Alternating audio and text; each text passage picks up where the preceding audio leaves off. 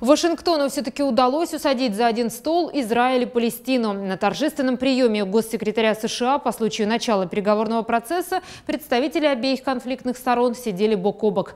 Палестинскую делегацию возглавляет главный переговорщик по вопросам мира Саиб Арикат, а израильскую – министр юстиции Ципи Ливни. Uh, да, в наших отношениях была стагнация почти четыре года. И сейчас многие смотрят на переговорный процесс с долей цинизма, критики и пессимизма. Переговорщикам предстоит принять немало сложных решений. Мы ищем разумные компромиссы, и это очень непростой процесс.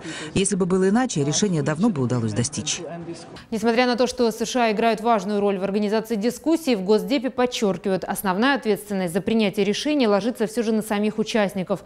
Главные вопросы, которые стоят перед переговорщиками, это будущее израильских поселений на западном берегу реки Иордан, статус Иерусалима и судьба палестинских беженцев.